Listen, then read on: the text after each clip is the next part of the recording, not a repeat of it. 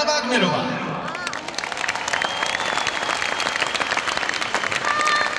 A pochopitelně nemůže chybět ani muž, který tehdy zlatou desku Haně Zákolové přidával.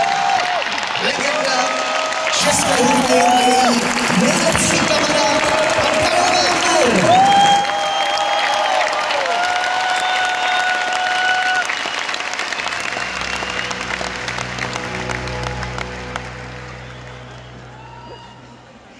Dobrý večer, Outu Arena.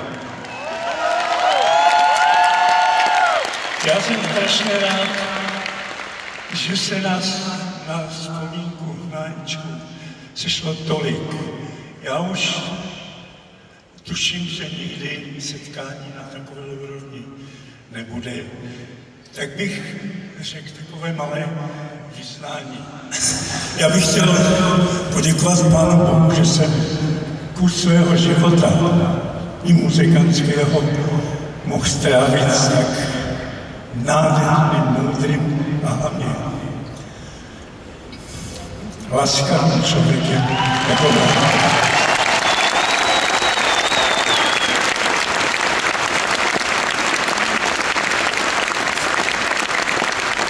Já jsem už dopoledne při, při generálce si zaspomínal ty naše krásné rozmluvy a pohovory nad melodiemi a texty těch písniček, eh, které jsme vybírali a které jste mnohé dneska uslyšeli, anebo uslyšíte.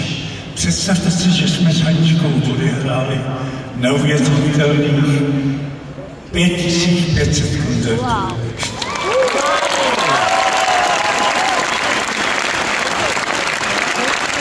Já, abych, eh, abych už nemluvil, tak říct jednu věc, že já, já jsem přesvědčený, že eh, Hanka sedí na obláčku, kope nožičkama a kouká na nás, jak na ní vzpomínáme. A já si myslím, že jsem ten, který by vás mohl požádat, že jsem ten pravý, aby jsme ji nahoru